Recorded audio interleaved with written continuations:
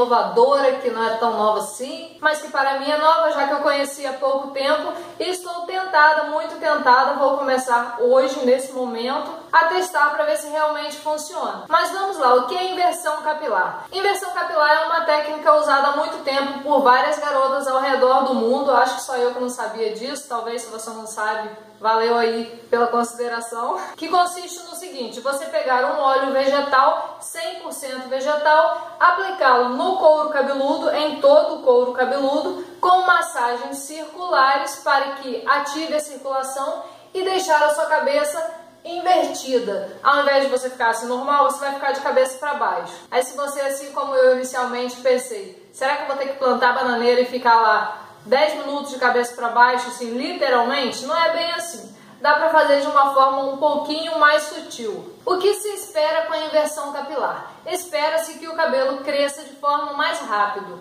O normal, o natural, é o cabelo crescer de 1 a 1,5 cm por mês. E com a inversão, a ideia é que o cabelo cresça 1 cm por semana, ou seja, até 4 centímetros por mês. É um crescimento super acelerado. Por que funcionaria? Teoricamente, quanto maior for a circulação do sangue no couro cabeludo, quanto mais ativada, mais rápido vai crescer os nossos cabelos. E a pessoa estando com a cabeça para baixo, o sangue naturalmente vai descer um pouco mais e vai fluir mais nessa região. Existe contraindicação? Pessoas que não podem fazer? Que não pode, não pode fazer, não. Mas existe um cuidado maior para algumas pessoas. Por exemplo, grávidas, lactantes, pessoas que têm pressão alta ou baixa, pessoas que têm problema de coluna ou pessoas que têm labirintite, que pode sentir uma tontura durante o processo e acabar sofrendo um acidente. Mas também não é necessário você ficar em pé com a cabeça para baixo durante 10 minutos. Você pode fazer isso deitada, como eu vou te mostrar. Eu vou medir o meu cabelo e vou deixar aqui embaixo quanto que a minha franja está medindo aqui. Eu vou deixar, eu vou medir pela franja porque pela ponta lá vai ser mais complicado. Tá acima... Não, tem que ficar a cabeça reta, né? Então, eu vou medir direitinho e vou deixar para depois de 10 dias eu voltar com o resultado para saber se realmente cresceu alguma coisa ou não. Agora vamos partir para a aplicação e a forma como eu vou ficar. Eu não vou ficar em pé de cabeça para baixo, nem vou ficar plantando bananeira, já deixo isso bem claro. Por quê? Primeiro que eu não sei plantar bananeira. E segundo porque eu acho que seria incômodo demais ficar em pé durante bastante tempo. Então eu vou arrumar uma posição um pouquinho mais confortável, mas que me traga um resultado tão bom quanto.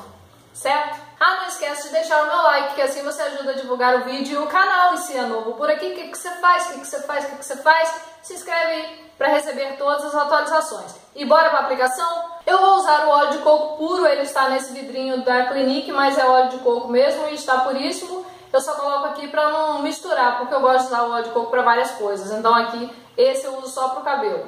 Ele está derretido porque o dia está mega quente, a pessoa chega, acho que está até brilhando de tanto que Tá quente esse tempo, não tá assim muito sol, mas tá um mormaço que ninguém merece. Eu vou molhar aqui a ponta dos dedos e aplicar na raiz, apenas na raiz do cabelo, com movimentos circulares. Vai fazer como se fosse fazer uma umectação, aplica na raiz e se quiser aplicar no comprimento também. Mas para crescer, para o crescimento, que é a ideia da inversão capilar, só a raiz já é o suficiente. Você vai fazer movimentos circulares na raiz é tão bom, gente, essa massagem, que mesmo sem inversão é uma delícia, tudo de bom. Então, você vai aplicando na raiz toda do seu cabelo.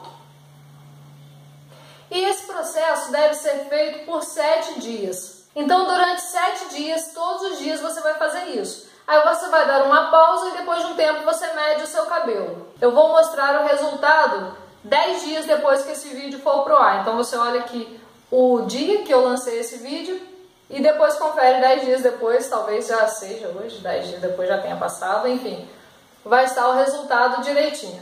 Aí você aplica com uma massagenzinha circular assim em todo o couro cabeludo e vai deixar agir. Você pode deixar agir durante a noite toda, se você quiser. Eu, como já comentei aqui algumas vezes, eu não consigo dormir com o cabelo oleoso, não consigo mesmo, mesmo, mesmo. Então, eu sempre lavo o cabelo duas, três horas depois para remover tudo. Mas é, nossa, muito bom. Gente, que eu amo isso.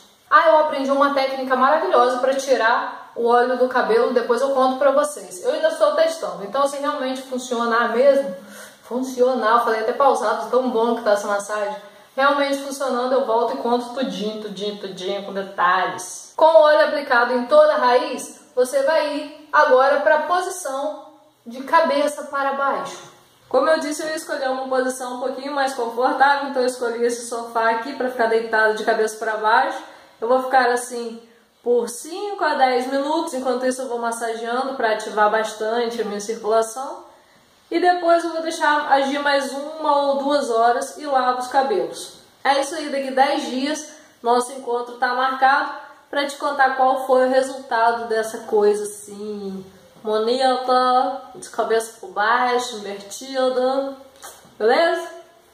Te espero, hein? Não vai me dar bolo não, hein?